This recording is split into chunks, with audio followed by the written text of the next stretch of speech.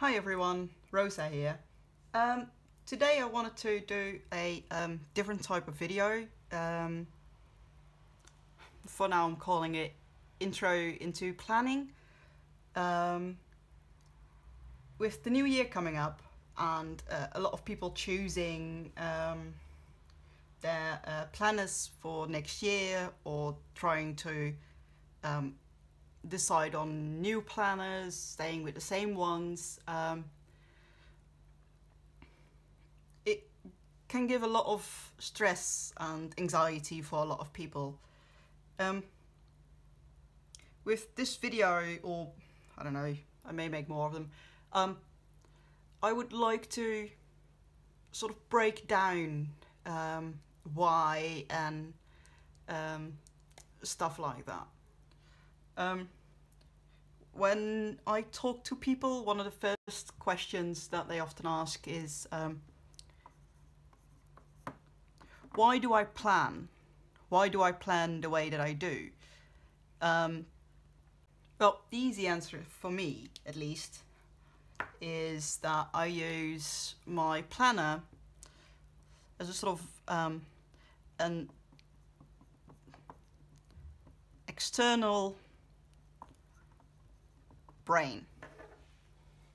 Anything I write into my planner, I don't actually have to remember myself. Which, you know, um, a lot of people who have ADHD, autism, or other um, neuro or neurological or um, mental health related issues, or even just really stressed, we know how easy it is to forget things. So I use my planner to um, sort of externalize my brain so I don't have to remember everything myself. The second question is often how do you plan? Well, sort of, you know, you do you.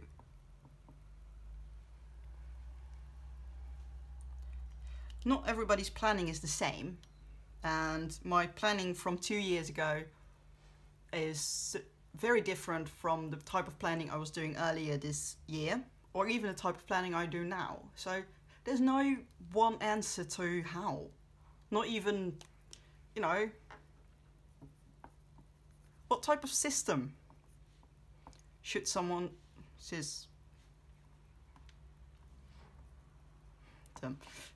should someone use? Um, I don't really connect with doing digital, but I know a lot of people who do digital systems. Others use um, paper systems and some use whiteboards. The, the important part is not the type of system you're using, it's that you use the actual system that you choose.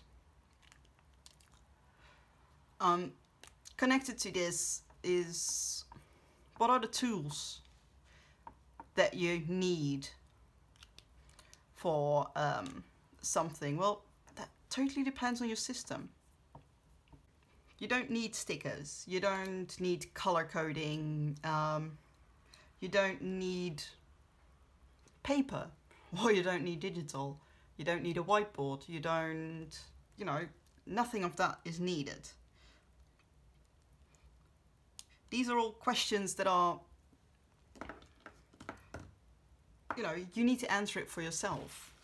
I would like to offer three key components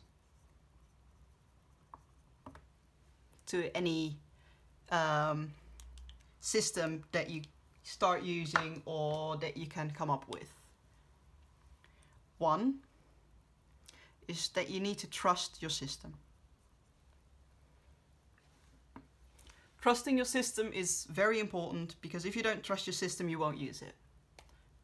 Two, you need a habit. You need to use your system as a habit, even if it's just once a week. But keep the habit of using your system once a week going. Three, you need to adapt. Both in really small senses, but also in the larger scheme of things. Adaptation of your system will become really important as you keep progressing with it. You need to trust your system. This is not just important for um, people with um, memory or time or any other um, even executive functioning issues, but this is important for everyone. I use my uh, planner as a an extension of my brain. I don't fully trust my own brain to remember everything that I need to do. Why? Because I know from experience that I'll forget things. Or I'll put things off because I'll think, well, the deadline's only four weeks away and it's four days later. Um, things like that. I use my system uh, to get a grip on those kind of things and um, to be able to use it as a brain extension, as um, a place to collect things, you're gonna have to trust that you're actually putting everything into your planner. That you're not going, oh, I'll remember that, you know, two weeks from now I'll have this appointment and um, I don't need to write it down, I'll, you know, I'll remember it. But if you can't, if you don't put everything in, you can't trust your brain or you can't trust your planner to actually know when things are coming up. And if you can't trust your planner, then, you know, how are you to trust using it? This is a two-way street. If you're not putting anything into your planner, you're not to get anything out of your planner because it's not there. So, the third part of this is to actually use your planner. And this doesn't have to be daily use. This can be weekly use. This can be, you know, system on a whiteboard, things like that. It, it doesn't mean you have to use it every day, but you have to use it in the way that it's meant to be used. If you're putting your appointments on there, then you're gonna have you're gonna need a way to track when appointments are, but also what the date is right now because the like I said, if I feel like a deadline's four weeks away, but it's only four days away, I won't know that unless I know what the date today is and what date the actual deadline is. Without both of these, I won't know when those things happen. So you need to use your planner. You need to put things into your planner to be able to get them out. The second thing of this is habit building. And I'm not talking drink enough water on a day or go for a run each day. I'm talking the habit of using your planner. Of um, if you trust your planner to be doing your work, then using your planner will have to be a habit and will become a habit at some point. It doesn't have to be big, it can start small. I'm not saying start putting everything into your planner. It's what I did when I first started bullet journaling. Um, I made in I had my brand new notebook and I made I think 10 to 15 different idea spreads. I used I think two of them in total. I'd set them all up. I was thinking big and bold ideas and in the end I started using two of them and most of those I actually kept using while I was using my uh, bullet journal and have by and large moved to my other journals with me. Your second part of habit building is that you need to know what are you tracking. Are you doing time tracking? Are you tracking your appointments? Are you tracking your work schedules? Anything time related? Um, is that going to be your main focus? If so, start your habit there. Start keeping track of where you are, when you're there, keeping track of any um, uh, travel times, things like that. it gives you a really quick grip on your um, uh, on your days and your weeks. If you want to do anything else, sure, but start here. Start with your time tracking. That's your most important reason that you're going into planning is because you need to keep you need to get a grasp on your time. Start with small time tracking. Um, if you watch my plan with me videos, um, I use quite an elaborate um, version of that, but it's still the same idea and um, I'll try to link it in the description and hopefully in the video itself so you can actually see how I do it. The other part of it, the other main reason people usually do this is because they want to track their tasks. This is actually where I started when I started using my bullet journal. I wasn't as interested in tracking my time that I was, you know, working or doing things, but I had to think, get things done. I had to get, you know, multiple things in a day done and I kept forgetting them. And that frustrated me because I had a whole list of things I had to do and I had to keep track of and everything was so overwhelming. So is it task tracking that you're doing primarily? Then get a system that works with task tracking.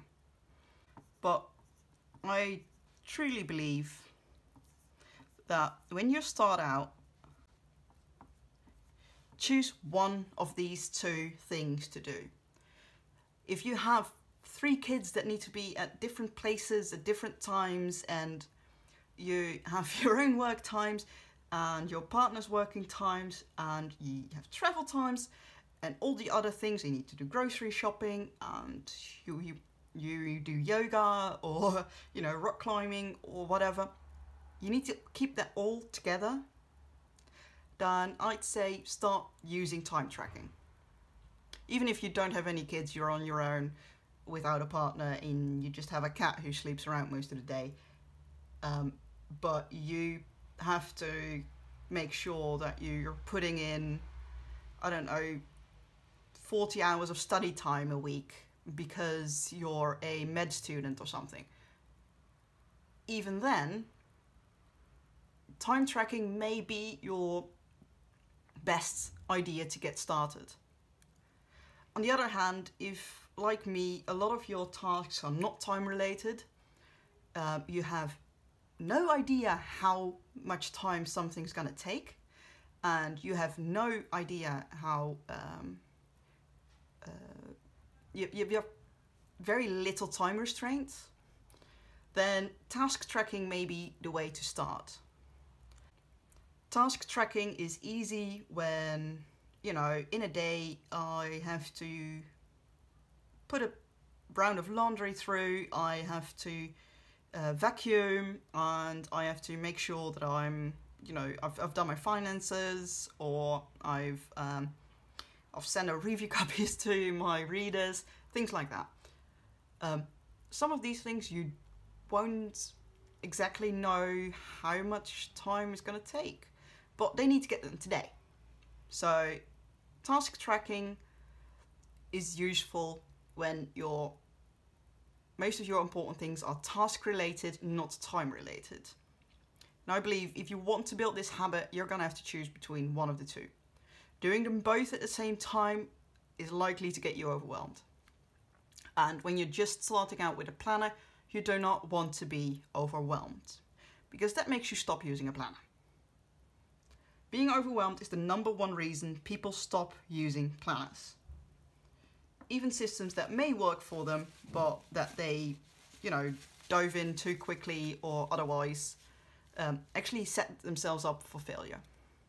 Which now brings me to the third point. You need a system that you can adapt. Like I said, start using one of them and get them to a point where you can actually trust that what's on it is what's important. So the first thing you're gonna wanna look at is what worked. Even from other systems you've used in the past, what are the things that worked for you? And as you use your own system, keep asking yourself this question. My weekly spreads, and I'll make a video of it at some point, um, or you can probably yeah you can find them on my blog. I'll link the blog somewhere um, because I've shown previous weekly spreads um, as I was adapting things and going through things. Um, my weekly spreads have um, changed a lot over time, and um, those are one of those things that I used that I adapted as I realized what worked and what didn't work. At the same time, I, I'm also still using a lot of the bullet journal's key features um, like moving tasks forward, moving tasks back, um, and being able to do that on the go as I'm working, even though I now use a Hobonichi for my daily work. So I kept things that are that worked and I dropped things that didn't. Um, one of the ways to adapt is try new things. And when I'm saying that, I don't mean try five new things every month, but I do say, for example, uh, for most of 2016, I've used habit trackers, um, which is basically a page where for every day of the month you track if you've done something. Have I had enough water to drink? Or did I brush my teeth every day? Did I go for a run? Did I work out? Anything like that you can track by, most people just colour in uh, little squares every day. Or there's other more pretty ways to do it, but it's that, those are my practical. I've used that for basically all of 2016. I still use similar ways in my work planner at the moment, but they go on a weekly base throughout the year. Um, habit trackers worked for me. That was something I'd never used before, and that was one of the things that really that I really enjoyed. New things that didn't work as well for me. Um, I've at multiple points tried to participate in um, uh, uh, plan with no, not plan with me. Um, monthly planning Instagram thingies and um, drawing and art thingies, and they never work for me. I keep trying and I keep failing at them. So I'll post when I see something fun or when I do something fun, I don't use them anymore. Um, you know, try new things. Try something that maybe an improvement, that maybe something totally different from what you did before. But if you have a system that can adapt, where you're adapting weekly or monthly, this means that new things only last you a week. If it doesn't work, well, it's a week. If your monthly thing doesn't work, well, it's a month. You can even, you know, go back to an old system if possible. If your planner allows for it, you can go back to an old system. It doesn't mean you have to stick with it for the rest of your life. What doesn't work, drop it. But stick to what works. This is so important. Stick to what works. It's one of the most important things. Not everything will work for everyone, but if something's working for you, you can adapt it somewhat. You can, you know, change it slightly. But if you want to keep going, if you want to stick to your system, if you want to trust your system, then stick to the things that work. I need a weekly overview of my things. I need a weekly overview of my time. I need a daily overview of my time and I need a daily list of the tasks that I need to do. Those are things that work for me and those are things that have stuck with me throughout the last two years of me actually really going into planning. I would like to end this video on a um, a, a, more productive or a you know go get them uh, kind of note. Um, for people who are let's just split this up in the middle. For people who are time tracking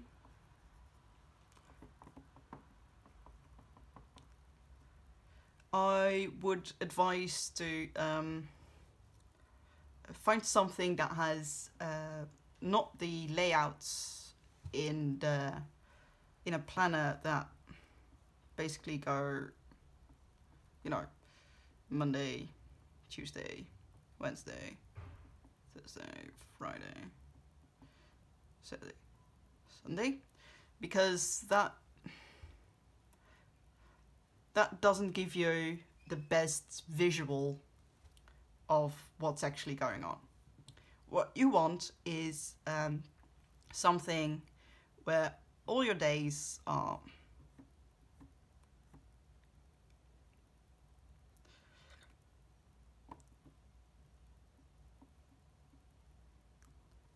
What you want is something where all your days are vertically uh, and have time ladders. So you can um, put your own time blocks where you need them and even other people's time blocks. Digitally, you can do this in um, in Google Calendar. At least that's the one I know most about. Um, in paper form, I personally use Passion Planner, but um, of course, there's the Hobonichi uh, in the weeks, either the week, not the Hobonichi weeks itself. the Hobonichi um, original, you're gonna need the um, weekly supplement, which uses a system like this, or you can use the Hobonichi cousin, as I do, which also has um, these timelines, um, time yeah, these weekly timelines at the front of the planner.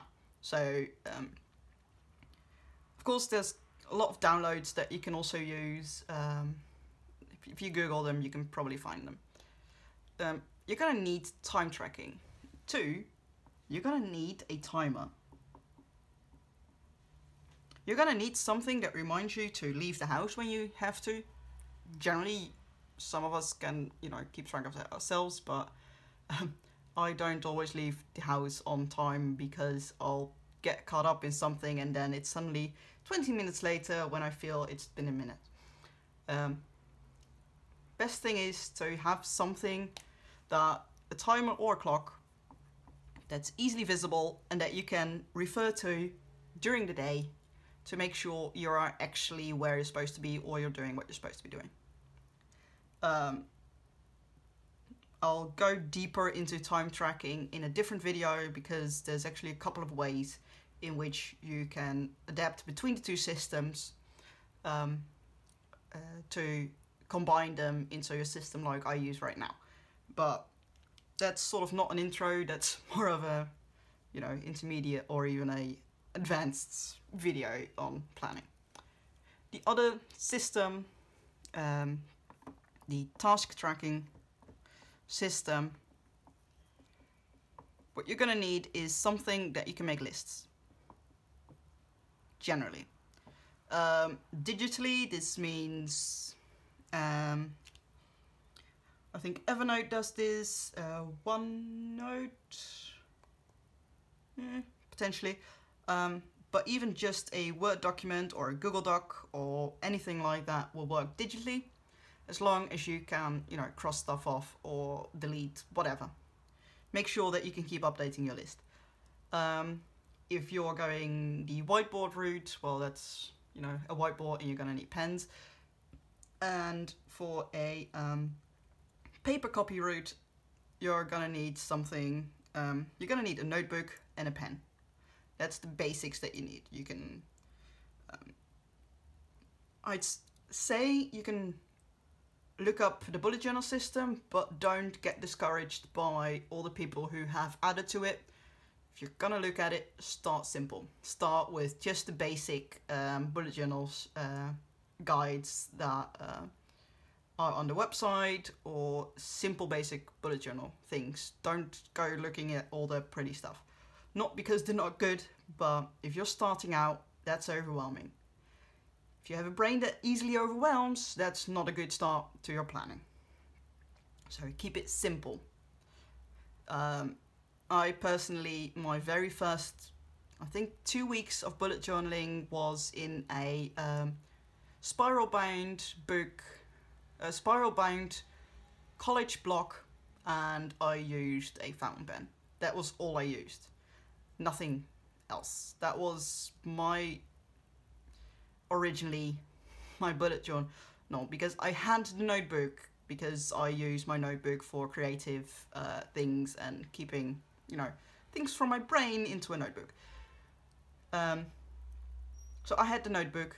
I um, and I told myself if I was gonna stick to the system for two weeks, I was allowed to upgrade to something a little bit more expensive, and that's what I did after two weeks. I upgraded and I used the bullet journal system for all of 2016. Um, in this case, well, I don't have much else to put on this list, to be honest. Uh, I'll just put the the bullet journal system on it, which you can look at.